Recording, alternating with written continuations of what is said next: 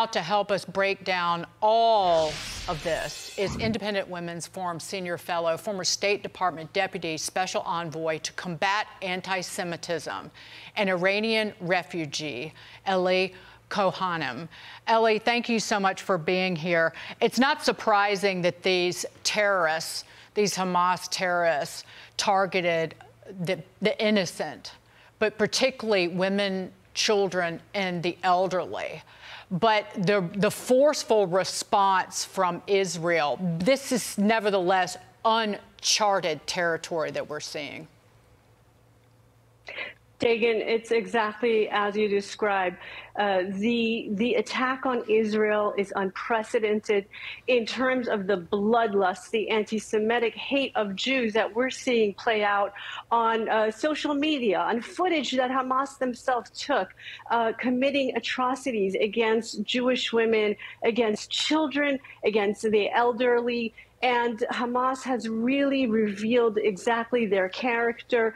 This is not about Israel. This is not about land and territory because Israel unilaterally pulled out in 2005 out of Gaza. This is about really that Hamas and Iran, they are their patron state does not and cannot uh, handle the existence of a Jewish state in the Middle East. And this is what we are dealing with is a religious war that is being, that is being uh, brought upon the Jewish state of Israel.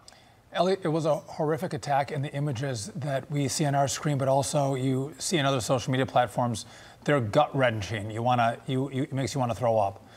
Um, but I, I wonder, as Israel justifiably comes in with overwhelming force, if that's exactly what Iran wants to see Israel do, is it a way for Israel, uh, for Iran to somehow um, coalesce the enemies of Israel by this overwhelming attack? Uh, and in the end, could Israel be playing into Iran's hand here? The Islamic Republic of Iran from 1978, when they seized power in Iran, has uh, made it their, their reason for existence is that they say that they want to eliminate the Jewish state of Israel, and they've done everything in their power to, to try to achieve that, that goal. And so the Iranian regime has, um, through a terror proxy, training and arming of Hamas in Gaza. Yeah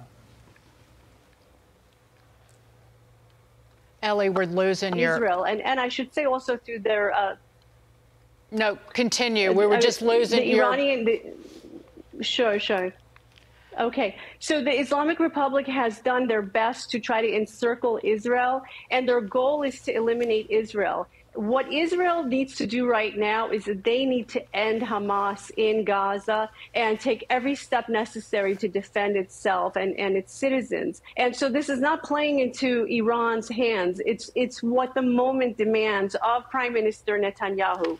And uh, and what we need from the Biden administration right now is to not only give Netanyahu the free hand to end Hamas, but also to restock uh, the Israeli weapons supply and and to really to really come through for Israel in its great moment of need at this time.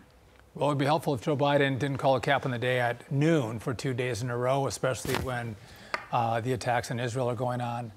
Ellie Cohanim, thank you so much for joining us. We appreciate it.